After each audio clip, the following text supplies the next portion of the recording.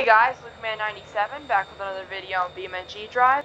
Today is my first BeamNG video on my new computer. If you haven't seen the new computer yet, go and watch my new gaming studio tour video.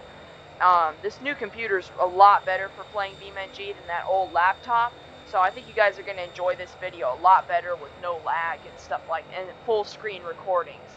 But anyway, today we're going to be checking out the Phoulkton CIWS mod, which is a missile slash gun defense system that you can use to shoot down things. So the first one is the gun version. Um, and then the second one is the missile version. We're going to check out this version first. And as you can see, it spawns in things a lot faster than before. Okay, so we're going to put it up here to the... We're to... I'm going to set it, like, on top of the... A little bit above the castle in Castellet, Castelletto, whatever you call the city. And if you notice, it actually floats in midair. That's one of the characteristics of it. So there's... Uh, let's see there's manual mode where you can move it yourself. You fire it with by pressing the space key. There's semi-auto, I think, which aims for you, but you have to fire. And then there's auto, which is supposed to aim for you and fire, but I've had some problems with it, so I'm not sure. Anyway, let's go ahead and take off.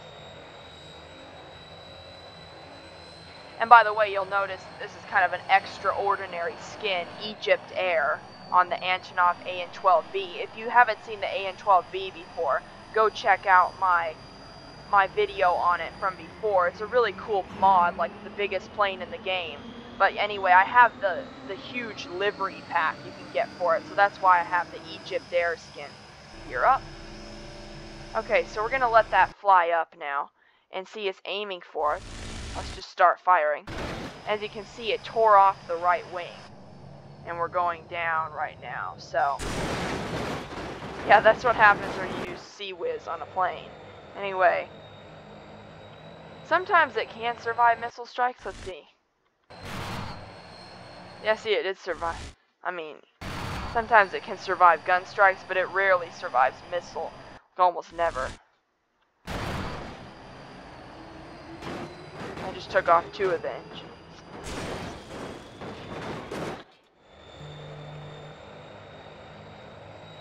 But, yeah, let's check out our FPS real quick just to see how much we're averaging on this new PC. We're averaging around 60 or 55 FPS on here, and that's great because on our old PC, we average like in the teens as far as FPS. And keep in mind, I have two vehicles spawned in, and this is a huge plane. So if it was just one vehicle and it was a tiny car, it, would, it was like around 80 when I just had one little truck. Anyway. Yeah, yeah, it always does that for some reason. I wish I could find a way to make it survive, because that'd be really cool. But...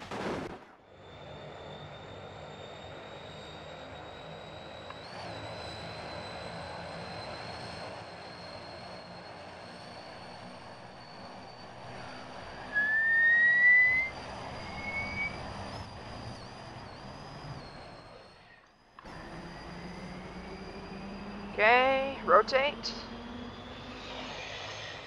You're up. Okay, let's just let that climb. Discharge a few. Oh my goodness gracious. Why does it do that every time? We're going down, ladies and gentlemen.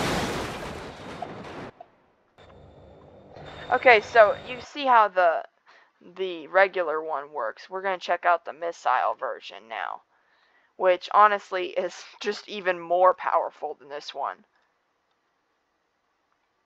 Oh, for some reason it had to spawn crooked. I don't know why. There we go.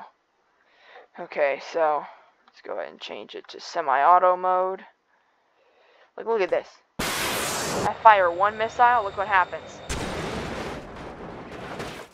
That's crazy. How that can just... Okay, let's... Flight engineer camera, co-pilot.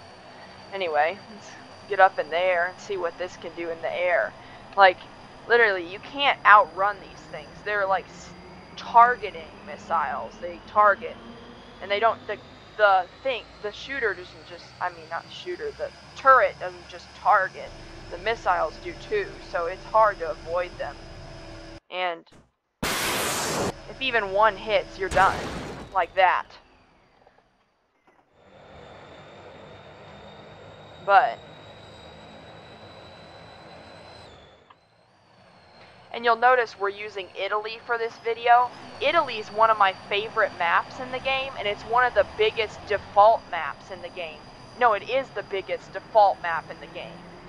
Because I think there is modded maps that are bigger, but it's the biggest default map in the game, and one of the biggest maps ever. So, my old computer used to, didn't run it well, so I didn't use it that often. In fact, I used grid map mostly, but Italy's always been one of my favorites, so now that I have this computer, I can use it without any lag, and it doesn't take so long to load.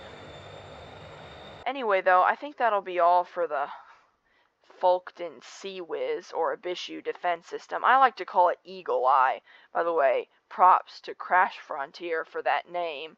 Uh, he used it in one of his videos called, I think, it was called I forget what it was called, but he used it in one of his videos. Oh yeah, the video was called Under Attack, but he used it in one of his BeamNG videos, and I like the name Eagle Eye. But anyway, that'll be all for the Phoulkton CIWS. If you want to download this mod, I'll have the link to it down in the description below. Um, let's just fire